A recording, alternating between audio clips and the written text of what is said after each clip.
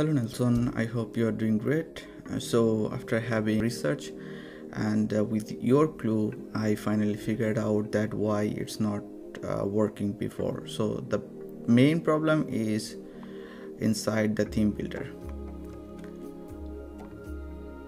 And uh, if you click on this editor section and uh, then you have to do a minor settings in there and after that it will work like uh, like this.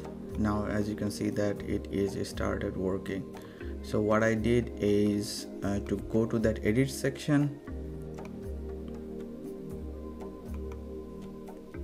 Yes double click on this and uh, you have to uh, check this box.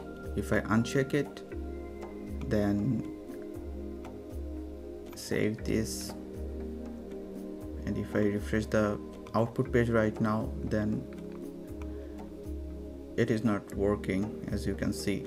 But if I go to again that edit section double click on that and enable this. Finally save that.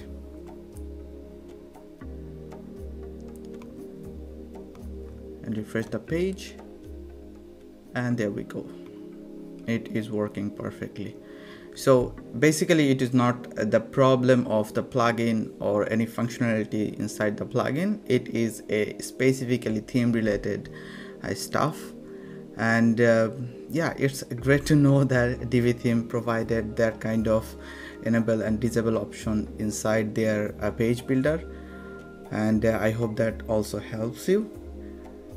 And uh, let me know if you need further assistance Thank you so much. Bye.